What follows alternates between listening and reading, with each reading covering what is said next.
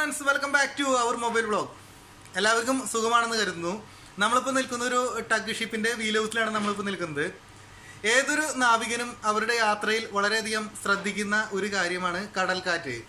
നമ്മൾ പ്രതീക്ഷിക്കുന്നതിനും കണക്കുകൂടുന്നതിനൊക്കെ വളരെ ശക്തിയായിട്ട് വീശുന്ന ഒരു സംഭവമാണ് കടലിലെ കാറ്റ്.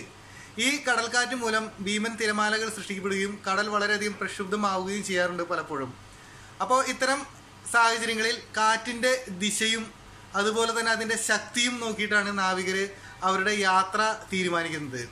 അപ്പോൾ ഈ കടൽക്കാറ്റിന്റെ ശക്തി അത് എത്രത്തോളമാണെന്ന് നോക്കുവാനും അതിന്റെ ദിശ ഏത് വശത്തു നിന്നുമാണ് ഈ കടൽക്കാറ്റ് അടിക്കുന്നത് എന്ന് കണ്ടെത്താനുള്ള ഉപകരണങ്ങളാണ് വിൻഡ് ട്രാക്കറുകൾ. ഈ വിൻഡ് ട്രാക്കർ അഥവാ അനിമോമീറ്റർ സിസ്റ്റം എല്ലാ ഷിപ്പിലും നിർബന്ധമായും ഉണ്ടായിരിക്കുന്നതാണ് ഈ ഒരു കാലഘട്ടത്തിൽ. അപ്പോൾ ഇന്ന് നമ്മൾ പരിചയപ്പെടുന്നത് വിൻഡ് ട്രാക്കർ എന്ന് പറയുന്ന ഒരു ഉപകരണത്തെ കുറിച്ചാണ് ആ ഇപ്പം നമ്മൾ കണ്ടുകൊണ്ടിരിക്കുന്നത് ഒരു വിൻഡ് ട്രാക്കർ ഡിസ്പ്ലേ ആണ് ഇപ്പം നമ്മൾ കണ്ടുകൊണ്ടിരിക്കുന്നത്.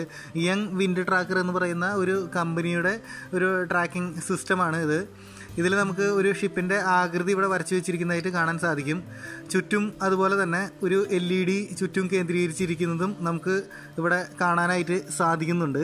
ഇത് ഏത് ദിശയിൽ നിന്നാണോ കാറ്റ് വരുന്നത് അവിടെ എൽ ഇ ഡി ഗ്ലോ ചെയ്യുന്നത് നമുക്ക് കാണാനായിട്ട് സാധിക്കും. ഇപ്പോൾ ഈ ഷിപ്പിന്റെ റൈറ്റ് സൈഡിൽ നിന്നും ഷിപ്പിലേക്ക് കാറ്റ് അടിച്ചുകൊണ്ടിരിക്കുകയാണ്.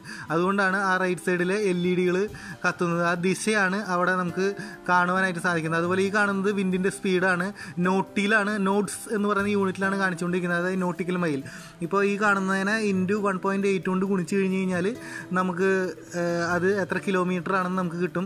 അതുപോലെ തന്നെ യൂണിറ്റ് ചേഞ്ച് ചെയ്യാനുള്ള ഓപ്ഷൻസ് ഉണ്ട്. അവിടെ നോട്ട്സ് അതുപോലെ M P H kilometre per hour metre per second എന്ന യൂണിറ്റുകളൊക്കെ തന്നെ അവിടെ നമുക്ക് കാണുവാനായിട്ട് സാധിക്കുന്നുണ്ട്. അതുപോലെ തന്നെ ഈ റൈറ്റ് സൈഡിൽ മുപ്പത് എന്ന് കാണിക്കുന്നത് ഇപ്പോൾ ഈ ചുരുങ്ങിയ ചുരുങ്ങിയ ഉള്ളിൽ അടിച്ചിരിക്കുന്ന മാക്സിമം കാറ്റിന്റെ വേഗതയാണ് അവിടെ മുപ്പത് എന്ന് കാണിക്കുന്നത്. പിന്നെ താഴെ രണ്ട് ബട്ടൺ ഉണ്ട്. ഒന്ന് ഈ എൽ ഇ ഡിയുടെ ബ്രൈറ്റ്നസ് അഡ്ജസ്റ്റ് ചെയ്യാനും ഒന്ന് യൂണിറ്റ് റീസെറ്റ് ചെയ്യാനുള്ള ബട്ടണുകളാണ് താഴെ കാണുന്നത്.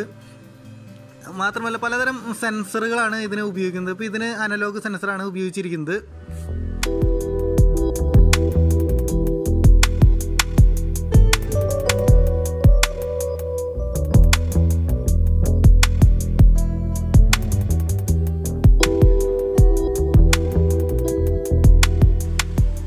അപ്പോൾ ഇന്നത്തെ ഈ കൊച്ചു വീഡിയോ ഇവിടെ അവസാനിക്കുന്നു. നിങ്ങൾക്ക് ഈ വീഡിയോ ഇഷ്ടമായി എന്ന് പ്രതീക്ഷിക്കുന്നു. മറ്റൊരു നല്ല വീഡിയോയുമായി വീണ്ടും കാണാം. ബൈ